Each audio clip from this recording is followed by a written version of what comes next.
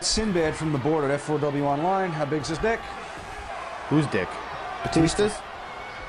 Well, I wouldn't. What's his name? Sinbad. Yeah. Well, Sinbad, I wouldn't know how big his dick was. Um, I wasn't a. Uh, I wasn't a diva. Um, I don't believe that he's gay.